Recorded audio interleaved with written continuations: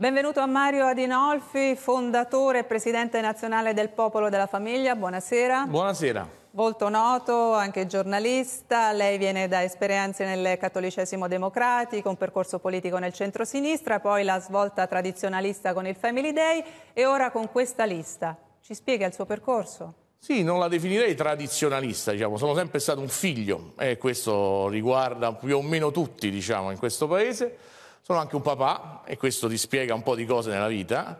E, e, ripeto, non credo che si possa definire tradizionale una mia scelta. Mi piacciono alcune cose della tradizione, ma il dato fondamentale è che la famiglia naturale in questo momento nel nostro paese è stata messa all'angolo, è stata un po' punita. E invece questo è ancora il paese della famiglia. È ancora il paese dell'articolo 29, la Repubblica riconosce la famiglia come società naturale fondata sul matrimonio. Ma c'era bisogno di una lista? Perché il vostro programma, diciamo, viene definito da alcuni un po' troppo monotematico. Ma di fatto voi eh, vi concentrate soprattutto sulle misure della famiglia, che comunque sono anche in altri programmi. Cos'è che fa la differenza? La differenza fa che le altre liste hanno governato diciamo, il paese, centrodestra, centrosinistra, nella mia città anche il 5 Stelle, e non abbiamo visto politiche per la famiglia. Abbiamo visto nell'ultima finanziaria, alla fine della conferenza nazionale sulla famiglia, dire che non c'era un soldo e anzi andare in Consiglio dei Ministri a fare la, il dimezzamento del già ridicolo bonus bebè. Ora tutti si riempiono la bocca della parola famiglia e succede sempre in ogni campagna elettorale, ma le politiche a favore di quei 29 milioni di mamma e di papà che allevano 15 milioni di figli minorenni e maggiorenni non autosufficienti, che si fanno carico di 3,8 milioni di disabili che se non ci fosse la famiglia sarebbero lasciati al loro destino, che si fanno carico degli anziani non autosufficienti, per loro non c'è mai nulla.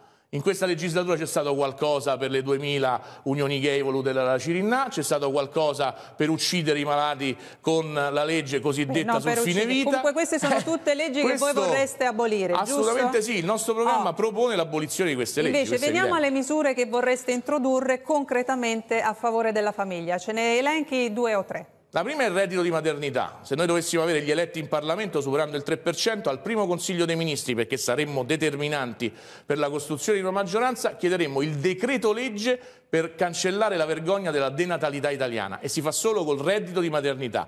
1000 euro al mese alle donne che avendo un figlio decidono di dedicarsi in via esclusiva alla famiglia. Questo è infinitamente meno costoso del fare il reddito di cittadinanza o Berlusconi che li copia facendo Avete il reddito di dignità. Avete conto quanto potrebbe costare? Purtroppo costerebbe poco, questo lo devo dire, purtroppo costerebbe poco perché i figli che nascono in Italia sono pochissimi e dunque avremmo un costo, stanzieremmo 3 miliardi di euro, cioè una cifra davvero irrisoria e non riusciremmo neanche a spenderli, pensate un po', li accantoneremmo per gli anni successivi sperando che questa politica faccia nascere altri figli negli anni successivi. Quindi voi sulle vostre, sulle vostre misure fareste accordi con chiunque, destra, centro-sinistra? No, potremmo fare un accordo di governo, prevalentemente con il centro-destra, è quella cosa immaginabile, per condizionarlo definitivamente, ma per ottenere queste misure e senza l'ottenimento di queste misure e la cancellazione delle leggi contro la vita e contro la famiglia noi non faremo accordi con nessuno. Infatti ci candidiamo in posizione autonoma senza esserci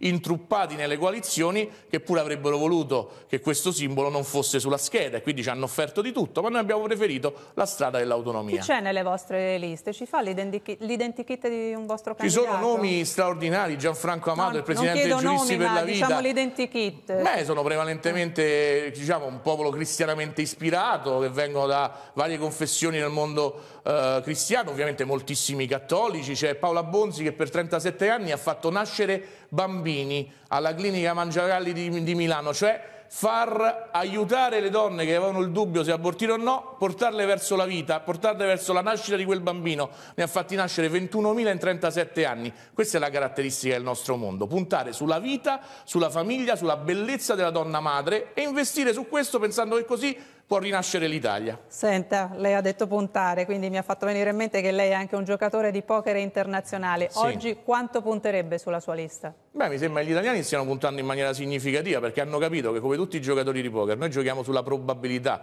mai sull'azzardo.